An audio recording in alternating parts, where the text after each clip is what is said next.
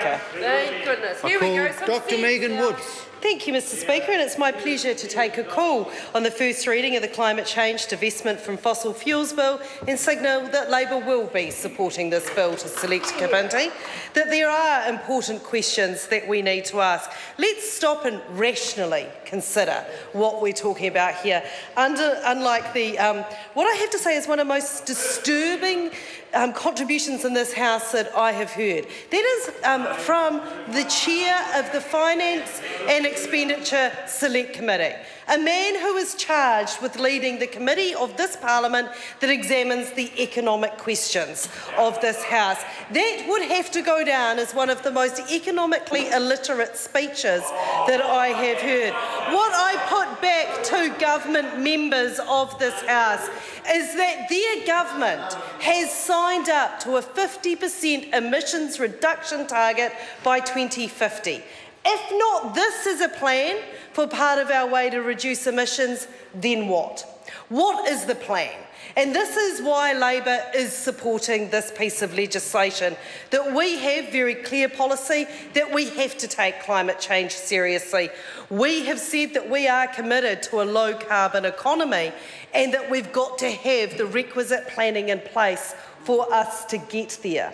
We think that this bill offers a really interesting way for us to examine whether or not this is the way for us to do it.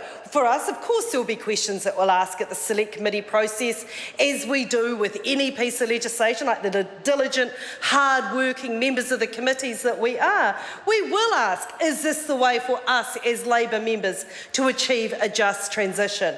We will ask the questions around whether this is the right piece of legislation that would help us achieve what we want to see and a goal that we share with the Greens. And I would have liked to have seen that it's a goal that we can share around this Parliament and it not be caught up in the petty party politics that we've just heard from the previous government speaker. That we need to reduce our emissions. We have to take climate change seriously.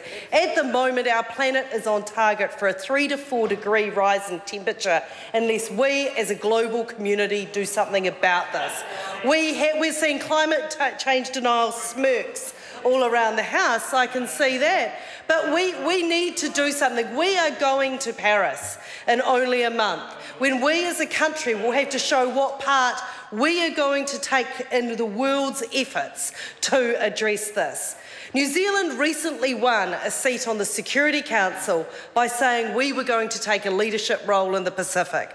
Well, Mr Speaker, there is no greater leadership role than on the issue of climate change that New Zealand needs to take for its Pacific neighbours. That this is a real and present issue for our region, for our country and for our neighbours. And if we idly sit here and refuse to do anything, such as the previous government speaker was indicating, we will end up exactly where this government is, and that is with no plan. They set targets, they fail to meet them, there is no planning, no budgeting, there is no plan of how it is that we are going to cut emissions.